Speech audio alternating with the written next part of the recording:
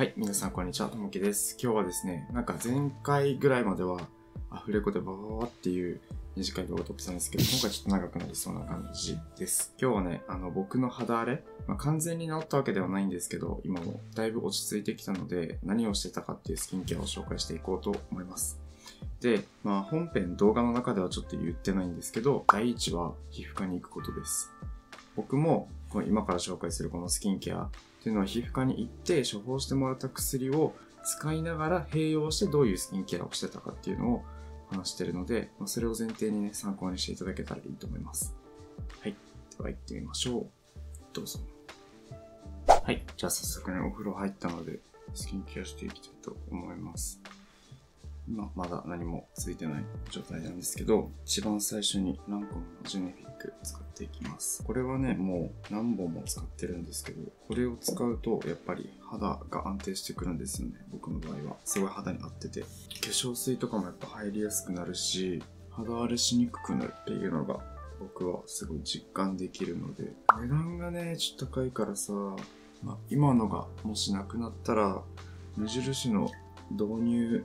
化粧液みたいなやつがいいって聞いたんで、それをちょっと試して比較してみようかなと思っております。今使ってるのは、これもランコムのクラリフィックです。で今はこれ使ってるんですけど、肌荒れが落ち着いてきた作用として一番大きかったのはこれではなくて、この前に使ってたキュレルの化粧水が良かったかなって思います。保湿力がすごい高いのと、バリア機能高めてくれてる感じがありましたね。なので、乾燥からも守ってくれるし、お肌の状態を底上げしてくれてる感がありました。バリア機能を高める。肌を健康な状態に持っていくっていうのが最初のステップでした。で今は少しね、落ち着いてきたので肌荒れも、まあ、化粧水がなくなったっていうのもあるんですけど、買ってたこのクラリフィックを使ってます。で量としては、キュレルもこれも一緒なんですけど、だいたい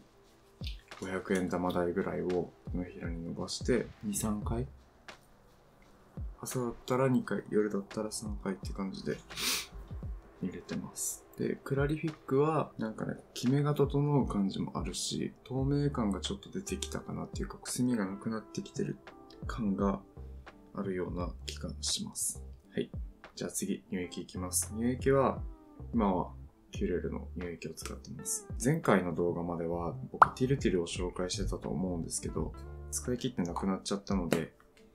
キュレルに変えてみました。化粧水がキュレルじゃなくなったので、なんとなく肌のバリア機能が下がらないように、なんとなくキュレルにしてみました。ティルティルは、やっぱシカの成分が入ってるんで、なんだろう、やっぱ鎮静効果があるんですよ。なので赤みを抑えてくれたりとか、スーって引いていく感じがありました。しっかり保湿はしてくれるけど、浸透が早かったんで、結構表面をね、さっぱりしてる印象でした。ティルティルは。で、キルルは、ちょっとね、それに比べたら表面が油膜ってほどではないけど、ちょっとこう残る感じはあります。これも朝は2プッシュ、夜は3プッシュで保湿してます。ま気をつけてたこととしては、やっぱ食事とかも、まあ今減量中というかまあ筋トレしてるっていうのもあるんですけど、なるべく脂質を取らないように、まあ必要な量を取るんですけど、お菓子とかも食べないし、そもそも別にすごい好きなわけじゃないんでお菓子は。その代わり、パイナップルとか、ブドウとか、フルーツめっちゃ食べますね。で、紫外線もね、やっぱ肌荒れの原因になると僕は思ってて、大学の頃からもずっとつけてるんですけど、つける前と後ではやっぱり肌荒れのできる頻度が全然違うんで、日焼け止め、特に男性塗ってない方は、ぜひ塗っていただけたらと思います。まあ、食事でしっかりと脂質を抑えていくことが結構大事かなと思います。で、肌が荒れてる時は余計なスキンケアというか、あれもこれもってやると余計荒れることが多かったんですよ、僕の場合は。なので、この3ステップだけ、スキンケアに関しては。で、それ以外で言うと、しっかりとクレンジングすることと、まあ、その後の洗顔ですね。多分、どっちかっていうと、この、スキンケアで例えば化粧水とか乳液とかってないやる以前に、クレンジングでしっかりと落とせてないと、本当意味ないと思ってるんで、クレンジングは今デュオを使ってます。比較的手に入りやすいし、やっぱ効果を実感できるんで、一回デュオを使って、その間、デュなくなって、買ったんですよ、別のものを。で、たまたま行ったドラッグストアにデュオがなくて、クレンジングバームの別のもの買ったんですけど、それ使ってるとなんかだんだん肌がごわついてきたりとか、なんか肌硬くなってきてんなみたいな。表面が。っていうのがあったり、毛穴の汚れがなかなか取れなかったりしてたんで、で、その後デュオに戻して、そしたらやっぱり肌のこの滑らかさとか、ちゃんと毛穴の汚れが落ちてる感とかすごい実感できるから、あ、やっぱクレンジング大事だなって思いました。で、あとその後の洗顔ですね。僕はオルビスのメンズのオルビスミスターってやつの洗顔使ってるんですけど、これもね、もうずっとリピートしてて最近は。洗浄力はね、正直結構強めです。強めだけど、その分ほんとがっつりしっかり落としてくれるんで、ウォータープルーフとかじゃなくて、普通にお湯で落ちるとか、なんかミネラル系のコスメとかの人だったら、全然多分ね、それ、その洗顔だけでも落とせるんじゃないかぐらい洗浄力はあります。ただその分やっぱり乾燥はしやすいと思うので、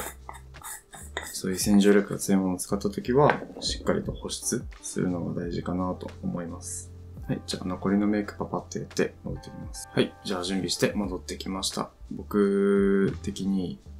まあ肌荒れが落ち着くステップとして紹介していったんですけど、まあ散々スキンケア、こんだけ紹介してあれなんですけど、一番大事なのはクレンジング。しっかり落とすこと。男性でも、例えば肌の黒ずみとかザラつきが気になるということは絶対クレンジングした方がいいし、で、しっかりと洗顔で落とすっていうのも大事かなと思います。その上で、まあ、化粧水乳液、まあ、ベースとなるステップですね。僕の場合はジェネフィックっていうブースター美容液入ってますけど、まあ肌がね、健康な人は多分いらないし、僕はなんか使うとやっぱり肌が底上げされる感じがあるんで、使っています。あと、脂質ね、食事。なるべくスナック菓子とかは食べない方がいいかなと思います。食べてもいいと思うけど、まあ、その分運動するとかね、なんかバランス見てやっていただければと思います。はい。こんな感じで、今日の動画、いかがでしたでしょうか？何か参考になってたら幸いです。では次の動画でお会いしましょう。バイバイ。